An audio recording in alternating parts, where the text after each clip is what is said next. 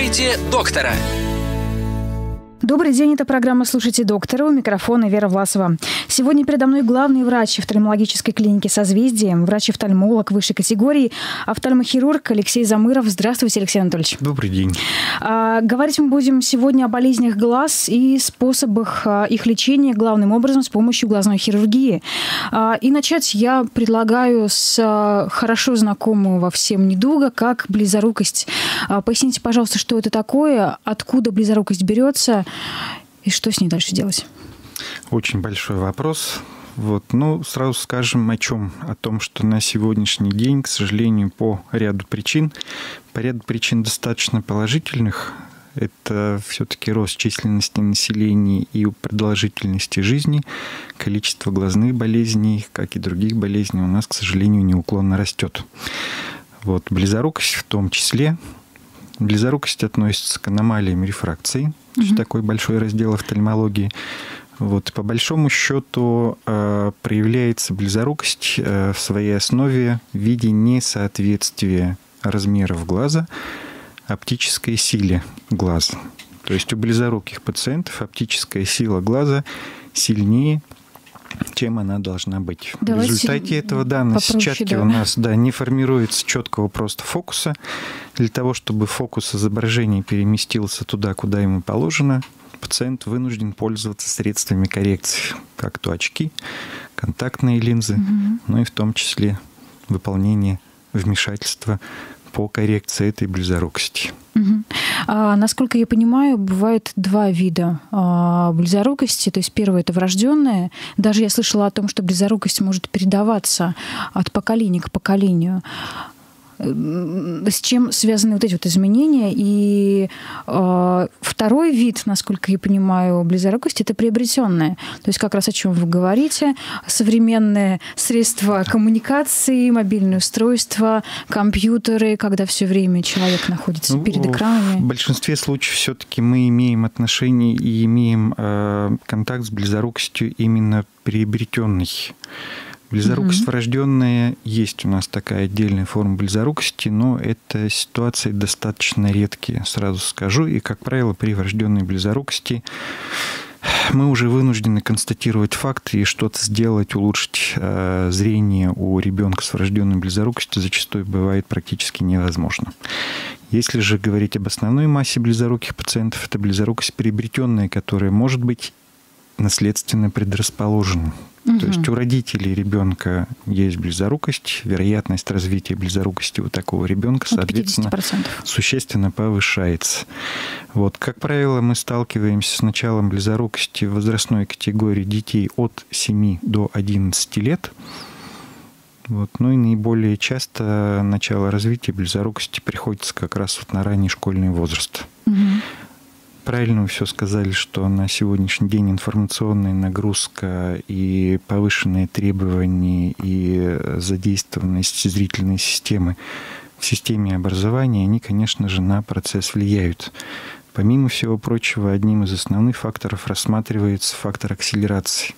Поясните. То есть организм растет, организм растет, людей выше среднего возраста, то, что раньше считалось средним, сегодня считается уже не таким высоким. Таких людей становится больше. По этой причине у нас, ну, грубо говоря, идет асимметрия в развитии некоторых органов, в том числе это привести может к развитию близорукости. Угу. Давайте начнем а, с того, о чем вы вот уже упомянули, то есть приобретение близорукости, а, возраст, как вы упомянули, 7-11 лет, когда, да. видимо, ребята, дети сталкиваются с учебниками, с книгами впервые, начинают усердно читать, близко держа книгу, да, насколько я понимаю, перед глазами. Честно говоря, вот так вот я, конечно, наверное, здесь э, не сделаю чего-то такого хорошего, но на сегодняшний день э, доказано, что пользование гаджетами на развитие близорукости влияния не оказывает. Mm-hmm. На развитие близорукости оказывает режим пользования гаджетами. Поэтому если вы гаджетами пользуетесь, читаете книги в каком-то режиме стабильном, то есть не так вот с утра до вечера и постоянно сидите при плохом освещении в неправильной позе, то такая зрительная нагрузка к развитию близорукости не приведет. Не приведет. Не приведет. Угу.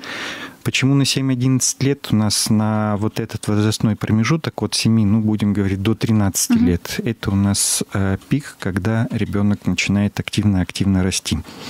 И вот именно эти гормональные процессы, приводящие к росту организма, они и влияют нас на несоответствие роста глазного угу. яблока. Глазки растут до 18 лет, да? Сколько Глазки растут у нас, ну, будем говорить, до 15, но мы все-таки берем вот этот временной промежуток до 18 лет в запас для того, чтобы оценить, насколько близорукость у нас в течение последних лет была стабильной.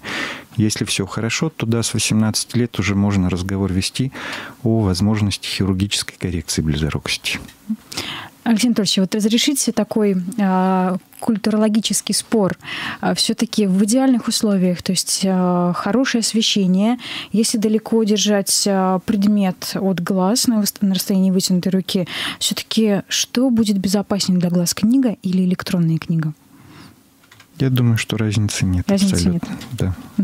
И давайте тогда, раз уж мы взяли этот возраст с 7 до 13, будем говорить так, лет, а, первые признаки близорукости. Если человек замечает, что а, объекты в отдалении а, некоторым образом размываются. Основной момент в том заключается, что, как правило, дети на это не жалуются. То есть симптомы появляются субъективные, родители обращают внимание на то, что ребенок что-то где-то не угадывает, не видит, путается. Ну и проверки вдаль, зрения в школе вдаль, обязательно. Э, щурится. Угу. Вот. И теряется успеваемость в школе, если он сидит достаточно далеко, потому что дети иногда ну, немножко комплексуют сказать родителям то, что стало плохо видно. Вот поэтому еще раз повторю, э, зачастую обратить внимание, и сам ребенок обратить внимание на то, что зрение снизилось, он, к сожалению, вот так вот активно эту жалобу не предъявит. Угу. Поэтому здесь основной вопрос к родителям. Внимательно смотрите за своими детьми. Помимо того, как они соблюдают режим зрительных нагрузок, помимо всего прочего, как они видят, как они себя ведут, есть ли признаки того, что у ребенка зрение стало хуже. Угу. Если не дай бог, конечно, обнаружили, что все-таки зрение стало хуже, проверили, зафиксировали, диагностировали. Что дальше? Как эту проблему можно решить? Дальше поход к офтальмологу. Вот, и решение вопросов необходимости э, либо уже коррекции оптической. То есть очки, контактные линзы? Очки. Очки. Вот, и еще сейчас, в последнее время, мы этот метод используем э, очень активно популярный метод во всем мире – это использование ночных контактных линз. То есть и именно когда мы этим методом начинали пользоваться, основная категория и основная цель, то у нас как раз были дети от 6 лет. Э, в плане замедления или остановки роста близорукости это именно ночные контактные линзы. В чем принцип их действия? Принцип действия заключается в том, что внутренняя поверхность у этих линз имеет особый профиль который подбирается под параметры глаза, который подбирается под степень близорукости, которую мы обнаруживаем у ребенка. Вот. Одевается контактная линза на ночь. Вот. В течение ночного времени поверхность роговички, это поверхность глаза, она меняет свой профиль. Меняет свой профиль таким образом, что близорукость компенсируется, угу. корректируется. И вот этого эффекта в идеале должно хватить на световой день. Есть, насколько То есть я день понимаю... мы ходим, все угу. нормально, все хорошо, ребенок видит, очками не пользуется, все в порядке, и на следующую ночь снова контактную линзу одевает. Угу. Выражаясь э, простым языком, как я это поняла, что линза в данном э, случае э, работает как некая форма, э, да. которая несколько корректирует хрусталик, получается. Не да? хрусталик, она а корректирует внешнего... поверхность глаза, да. То есть хрусталик глаза. это у нас внутриглазная структура. Угу. А здесь корректирует вот то часовое стеклышко, которое мы видим на глазу. Угу. Это у нас основная преломляющая линза в глазу. Вот именно поверхность этой линзы у нас ночные контактные линзы и моделируют в течение ночи. Угу. А в свое время были еще популярные очки а, черные с дырочками. Это уже не используется, я так понимаю, да? Ну, вопрос, если эту тему поднимать, то на сегодняшний день э, вот очки с дырочками и всякие около параллельные средства, э, механизмы, устройства – это не раздел официальной медицины. Вот, поэтому обычно, если пациент приходит и спрашивает, а вот можно ли мне это, если я слышал об этом и знаю, что это вреда не принесет, и вижу, что пациент от этого не пострадает, пользуйтесь можно, а будет ли мне лучше, не знаю. Угу. Здесь у каждого получится свой выход своей да. решения ситуации. Да. Но в любом случае консультируемся всегда с специалистами. В любом случае. Обязательно мы это говорим. Да. А, идем дальше. А, хорошо прописали вы, грубо говоря, вот эти ночные линзы ребенку, у которого наблюдается ухудшение зрения и проявление некоторых а, уже стадий близорукости. 13 лет. Что дальше? Когда ребенок взрослеет, и этих линз, а, ну, либо хватает, но всю жизнь ты ведь с ними тоже не проходишь. Линзы переподбираются при правильном ношении, при соблюдении режима ухода, при эффективности э, линзы перепроверяются, переподбираются ежегодно. То есть так пока пациенты хорошо переносят, пока они помогают, ими пользуемся. Угу. Если случилось так, что ситуация более запущена, а, и подростковый возраст, я имею в виду уже где-то 14, 15, 16 и далее лет, а, человек обращается именно в этом возрасте. Что тогда вы можете порекомендовать? Можем порекомендовать стандартные оптические средства коррекции, качки, контактные линзы. Ночные линзы, они для любого возраста. Угу. То есть вот мы только единственное для себя определили, вот это основное направление для детей, потому что ну, на самом деле эффективно. Вот, а так это можно использовать и в более старшем возрасте. Угу. Если мы переходим а, к уже непосредственно следующей нашей подтеме, это лечение близорукости с помощью хирургического вмешательства. А, с какого возраста это допустимо? Какие возрастные рамки существуют? Какие показания, противопоказания имеются? По общепринятым рекомендациям э, хирургическая коррекция близорукости э, возможна с возраста 18 лет и до 45 лет. Почему именно такие рамки? Это мы разговор ведем о коррекции, э, которая затрагивает вот как раз поверхность глаз. Угу. То есть мы не говорим сейчас о внутриглазных вмешательствах. Угу. Вот, потому что как я уже говорил, до 18 лет мы предполагаем, что организм растет, соответственно, может расти близорукость. Угу. Если близорукость продолжает расти, а мы сделаем коррекцию, соответственно, все дальше зря. близорукость будет расти, и окажется, да, на самом деле все зря. Это по 18-летнему возрасту. По 40-45-летнему возрасту в этом возрасте у нас существенно повышается риск развития возрастных глазных заболеваний, которые также могут повлиять на качество и остроту зрения. Соответственно, если мы в этой возрастной категории выполняем лазерную коррекцию, если мы говорим о лазерной коррекции, угу. и у пациента в ранние сроки после операции, вне связи с операцией, но в связи с возрастом развиваются какие-то болезни, получается, что мы операцию в какой-то степени делали зря. Угу. Не говоря уже о том, что если у пациента в этом возрасте после 40 лет развивается катаракта, это уже помутнение вот того самого хрусталика, вот, то замена хрусталика сама по себе, помимо восстановления прозрачности – хрусталика, она еще и несет корректирующую функцию. То есть мы можем за счет замены хрусталика скорректировать близорукость в том числе. Угу.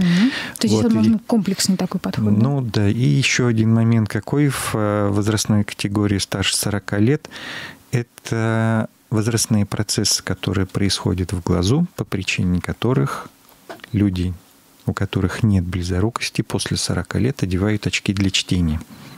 Потому что дальнозоркость? Потому что, ну, это в простонародье называется возрастной дальнозоркостью. Угу. На самом деле это не дальнозоркость. Есть такой специальный термин, называется пресбиопия. Это как раз нарушение зрения, связанное с возрастными изменениями опять того же самого хрусталика. Хрусталик становится очень твердым, уже не может приспосабливать глаз к зрению хорошему на близком расстоянии. по этой причине требуется пользоваться очками для работы на близком расстоянии. Компьютер писать, читать. И если в этой возрастной категории мы пациенту близорукому делаем лазерную коррекцию, соответственно, мы его сразу обрекаем на необходимость mm-hmm. пользоваться очками для чтения. Вот получается в некоторые... Двойной некотором, эффект. да, ну, масло масляное, да. Mm-hmm. То есть от одних очков избавили, другие мы приобрели. Хотя есть пациенты на сегодняшний день, э, которые, несмотря на это, приходят к нам в возрасте от 40 до 45 лет и операцию все-таки делают. То есть сейчас появилась большая достаточная категория, это профессионально признанные непригодными пациенты, которые вынуждены делать лазерную коррекцию для того, чтобы вернуться в профессию. Угу. Есть, есть такие, да. да. А, давайте теперь, пожалуйста, поподробнее раскроем суть а, лазерной а, глазной хирургии, в чем принцип ее работы. И вот еще вы упомянули о том, что сейчас вот мы с вами речь поведем исключительно о об операциях на внешней части глаза. Поверхности глаза, да. да. Поверхности. И если я правильно понимаю, близорукость – это как раз то, что на внешней поверхности глаза э, решать нужно эту проблему. Проблему близорукости просто проще так решить. Технически проще и безопаснее, потому что мы не входим внутрь глаза, угу. соответственно, риски вмешательства существенно, они просто критически падают, и получить какие-то проблемы в послеоперационном периоде с потерей функции здесь маловероятно. А эффективность? Эффективность крайне высокая. Угу. Эффективность крайне высокая, потому что на сегодняшний день э, вот эти поверхностные вмешательства лазерные – на роговичке глаза, как я уже говорил, это самая сильная преломляющая линза в глазу человека.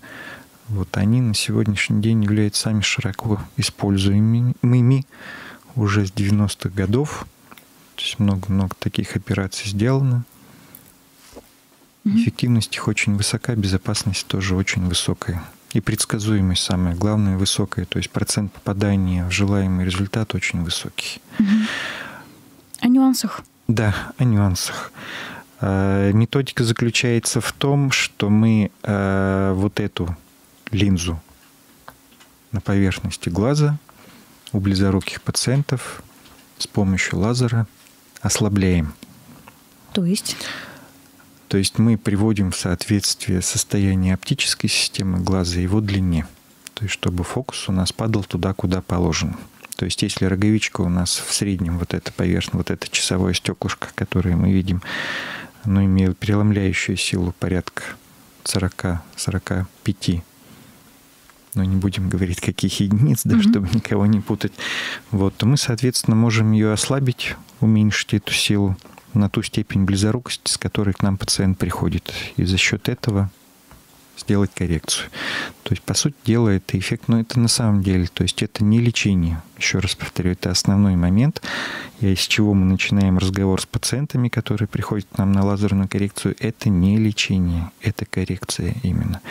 То есть мы не лечим никакую болезнь, мы не устраняем ничего в глазу лишнего, мы просто изменяем силу глаза за счет лазерного Теперь поясните, пожалуйста, а, не лечение, а коррекция. В этом случае требуется еще какое-то вспомогательное лечение? Нет. То есть одной коррекцией можно, по сути, проблему в, в идеальной ситуации решить? В идеальной ситуации, если нет других изменений в глазу, тогда да, все решается например? коррекцией. Дело в том, что э, внутри глаза и что часто сопутствует достаточно близорукости, у нас страдают помимо всего прочего еще и внутренние оболочки глаза. Вот, а в частности, из-за перенапряжения самое... мышц, да, Нет, понимаю? не из-за перенапряжения мышц, а именно из-за несоответствия размеров глаза. Угу вот, его возрастным значением, возрастным нормам. Дело в том, что у нас ткани есть внутри в глазу, которые достаточно легко деформируются mm-hmm. и растут, и при этом ничего страшного не происходит. Есть ткани, которые за ростом вот этих более эластичных тканей не успевают. В результате этого во внутренних оболочках глаза формируются изменения дистрофического характера. Это зоны, в которых внутренняя оболочка слаба, тонка. Угу. Вот. И определенного рода воздействия, провокации в этом месте могут приводить к возникновению разрывов. А сетчатка, еще раз повторю, это самая внутренняя оболочка глаза. Это самая важная структура в глазу, потому что именно в ней формируется зрение. То есть это как матрица в фотоаппарате. Угу. Все, то есть ее нет, глаз не видит. Вот, соответственно, если какие-то проблемы с сетчаткой возникают, то это в любом случае отражается на зрении. Mm-hmm. И вот если при таких изменениях, связанных с близорукостью, формируется в сетчатке разрыв, это может привести к такому серьезному заболеванию, как отслойка сетчатки с потерей зрения, с необходимостью выполнения сложных хирургических вмешательств. Вот в любом случае мы перед тем, как пациента брать на операцию, на лазерную коррекцию, проводим полное обследование. Если выявляются такие изменения, вот, то мы выполняем лечение. Уже это будет лечение профилактическое. Это имеется в виду отслоение сетчатки ну, конкретно?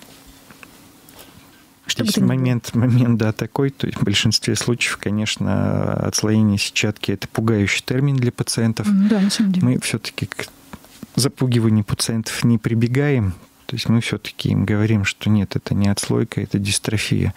Но эта дистрофия в итоге может привести к отслойке угу. сетчатки, поэтому лазером, но это уже другим лазером, а не тем, которым мы корректируем близорукость, мы выполняем профилактическое лечение, которое на зрение влияния никакого не оказывает, но существенно снижает риск вот этих проблем, которые могут возникнуть на фоне близорукости. Угу. И эту услугу тоже можно получить да. в клинике да. созвездия.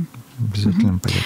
Да, возвращаемся, а, Алексей Анатольевич, к процессу подготовки к операции. Вы уже указали, что обязательно, конечно же, требуется консультация у ваших специалистов э, клиники созвездия. Что дальше? То есть э, офтальмолог, врач э, принял решение и сообщил о нем пациенту. Неправильно. Так. Значит, еще один важный момент, о котором пациента предупреждаем, поскольку метод относится не к лечебным, а к корректирующим, ну, по сути дела, для сравнения косметической операции. Угу. Пациент принимает решение, делать операцию или нет самостоятельно. Угу. Задача врача в данной ситуации обследовать полностью пациента, оценить степень рисков, прогноз – особенности строения глаза, рассказать об этом пациенту. Если нельзя делать, доктор скажет, что нельзя. Но если можно делать, доктор так и скажет, да, вам сделать можно. В каких случаях, может быть, нельзя? А, в тех случаях, когда мы э, видим, что снижение зрения не скорректируется лазерной операцией. То есть бывает, что у нас при близорукости то же самое, если мы берем врожденную близорукость, как я уже сказал, лазерная коррекция при врожденной близорукости, как правило, уже помочь не может, потому что глаз правильно не развился угу. из-за врожденной близорукости, и зрение там не сформировалось. Противопоказанием к выполнению лазерной коррекции у нас является ну, ряд заболеваний, то есть не будем здесь озвучивать, чтобы никого не пугать, но есть ряд заболеваний, при которых э, лазерная коррекция нежелательна, потому что риск возникновения проблем каких-то в послеоперационном периоде, он, к сожалению, более высокий, чем это бывает в стандартных ситуациях. Ну, для примера, скажем, сахарный диабет, угу. бронхиальная астма, некоторые заболевания суставов – вот, ну и другие заболевания, которые влияют в целом на организм, в том числе на восстановительный период в послеоперационном периоде. все в организме связано, да, нужно да. это учитывать. Вот очень важный момент, что касается у нас э, женщин, э, оперативное лечение, операти, операцию вот лазерной коррекции э, мы не рекомендуем делать, если в течение года после проведения лазерной коррекции планируется беременность. Почему?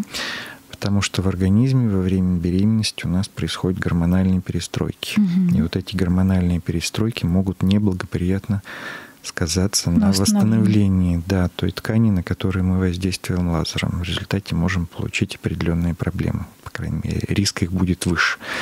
Вот. И то же самое касается периода после родов.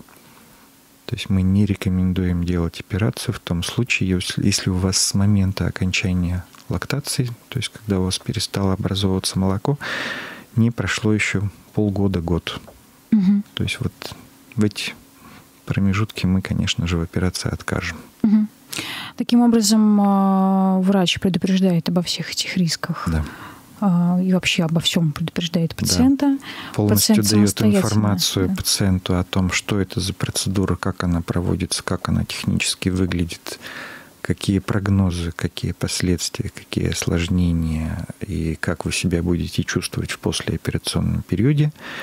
Мы даем еще пациенту брошюру, чтобы он дома все внимательно угу. это прочитал, то есть там вот выжимки из разговора. Вот, и дальше уже пациент говорит, все, я все прочитал, я вас услышал, вы мне все подробно объяснили, на операцию я согласен. Угу.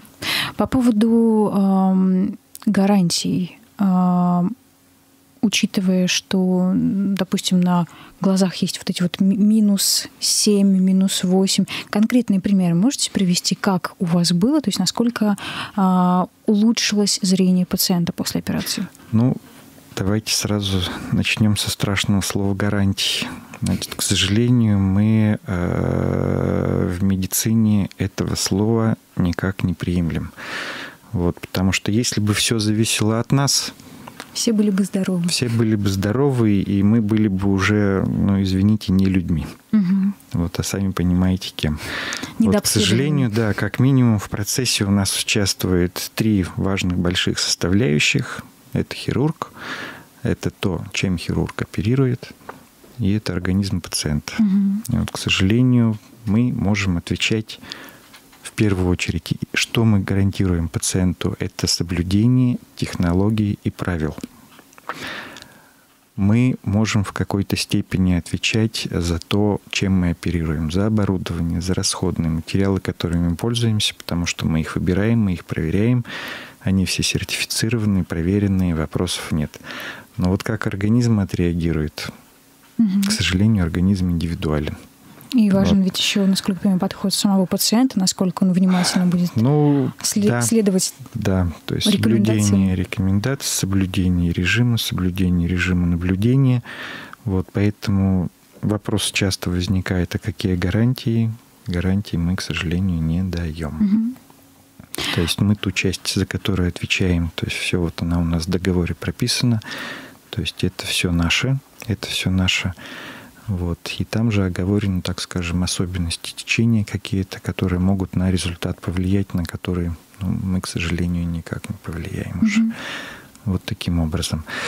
А Дальше момент какой? По результату, если говорить, то есть результат, мы обычно пациентов ориентируем на тот результат, который мы имеем до операции в средствах коррекции.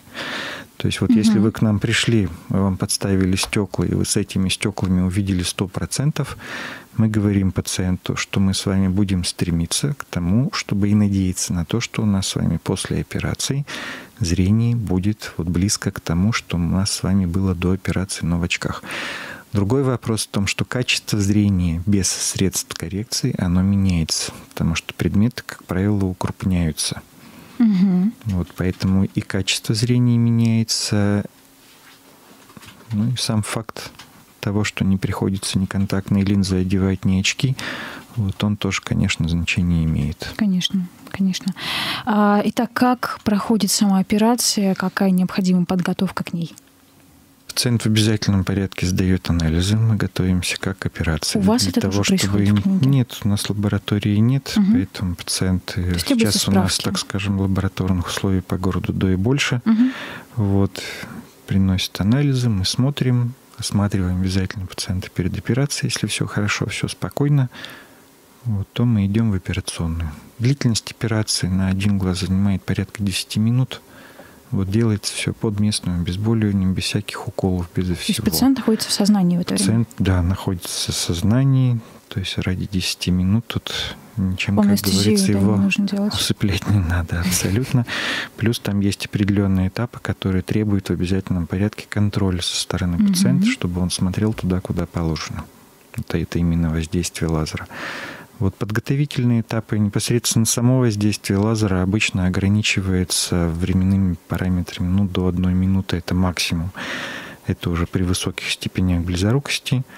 Все в зависимости от метода, который мы используем в качестве подготовки непосредственно к лазерному, к лазерной коррекции. Вот, либо контактная линзочка одевается защитная после вмешательства, либо ничего не одевается. Угу. Все, и пациент встает, немножко отдыхает и идет домой. А и дальше все? мы не-не-не, что потом идет длительный период наблюдения, оценки результата, коррекции лечения. То есть на этом все не заканчивается. Угу. Поэтому у нас основной момент в разговоре пациента перед операцией это то, что операции все не ограничится. Так, а то что есть дальше? Еще предстоять будет наблюдение. В течение какого лечение. времени? В зависимости от метода, на сегодняшний день два основных метода, которые используются, отличаются они э, подготовкой поверхности глаза к воздействию лазера. Вот, ну, ограничимся только названиями, наверное, не вдаваясь в технические подробности. Это метод LASIK вот, и метод ФРК, фоторефракционной кератоктомии. А, вот от этого зависит э, то, как будет протекать послеоперационный период, как долго и как часто надо будет наблюдаться, как долго придется закапывать капли в послеоперационном периоде. Вот, ну и тоже, так скажем, угу. особенности А процесса. насколько в среднем пациент лишается возможности осуществлять свою трудовую деятельность?